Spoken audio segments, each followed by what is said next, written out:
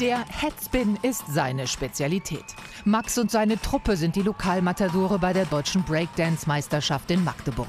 Das große Ziel, die Quali zur Europameisterschaft. Dafür geben sie alles. Blaue Flecken am Rücken ist ganz normal. So, wenn man die Tricks noch nicht richtig ausführen kann und dann auf dem harten Boden macht, ist es normal. Beim anschließenden Battle geht's ums Ganze. Die sind gut, die sind gut, also aufpassen. Die Besten kämpfen gegeneinander. Airchair, Turtle, Topspin. Es geht um Kraft, Akrobatik und natürlich um eine möglichst coole Show.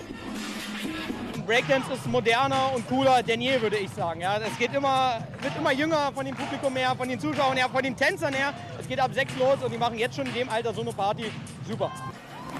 Die 150 Teilnehmer aus ganz Deutschland treten in drei Gruppen an.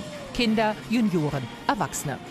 Senioren gibt es übrigens auch beim Breakdance. Das sind alle ab, Achtung, 35. Kein Wunder bei den Anforderungen.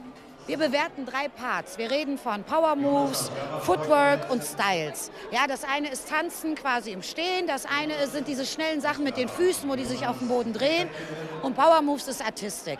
Wir würden gerne, dass von allem was dabei ist. Und von allem am meisten dabei ist bei diesen Jungs.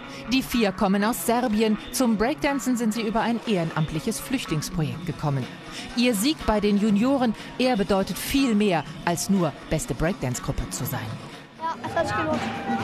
Und das machen wir immer weiter bis zum, bis zum Battle of the Air. Und da werden wir auch noch gewinnen. Max und seine Crew schaffen es auf den dritten Platz und sind trotz aller Coolness happy. Denn die Quali zur Europameisterschaft haben sie damit in der Tasche. Im Juni geht's ab nach Polen.